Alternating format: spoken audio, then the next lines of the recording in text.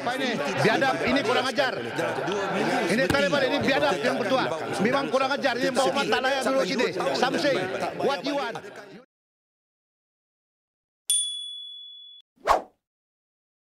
Peguam Tan Sri Muhammad Syafi Abdullah menegaskan hak Datuk Seri Najib Razak dalam pembelaannya akan terjejas jika Mahkamah Tinggi menerima rakaman audio dikatakan perbualan antara bekas Perdana Menteri itu dengan kerabat di Raja Arab sebagai bukti. Muhammad Syafi dalam hujahannya berkata, rakaman yang hendak diterima masuk pendakwaan bagi membidas pembelaan derma Arab oleh Najib itu mungkin terusik, rosak dan mengandungi maklumat salah menjadikan penerimaannya sebagai bukti adalah tidak berperlembagaan.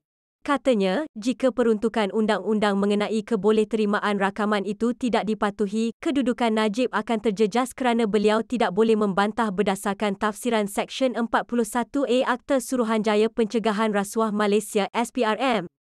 Oleh itu, ia menafikan hak tertuduh Najib untuk mendapatkan perbicaraan adil. Pendakwaan menyalahgunakan proses mahkamah kerana tidak menerima masuk komunikasi yang dipintas itu mengikut Seksyen 43 Akta SPRM, sebaliknya menggunakan pintu belakang dengan memaksa mahkamah menerima bukti dokumen mengikut Seksyen 41A Akta SPRM. Rakaman audio perbualan itu mesti tidak diterima mengikut Seksyen 41A Akta SPRM 2009 kerana tidak berperlembagaan jika tidak menggunakan peruntukan Akta Keterangan 1950, katanya. Peguam itu berkata demikian bagi membalas hujahan pendakwaan yang memohon rakaman audio berkenaan diterima sebagai bukti dalam kes penyelewengan dana Satu Malaysia Development Berhad 1 MDB. Pendakwaan memohon rakaman itu diterima masuk mengikut Seksyen 41A. Akta SPRM iaitu peruntukan khas yang mengatasi Seksyen 65 Akta Keterangan Berkaitan Bukti Berdokumen.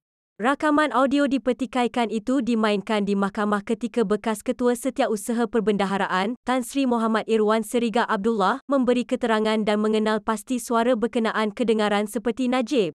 Dalam rakaman itu, suara seperti Najib memanggil seorang individu sebagai yang teramat mulia dan bercakap mengenai keperluan menyelesaikan kebuntuan berhubung isu 1MDB dan International Petroleum Investment Co IPIC yang didakwa memalukan Malaysia serta Emiria Arab Bersatu UAE.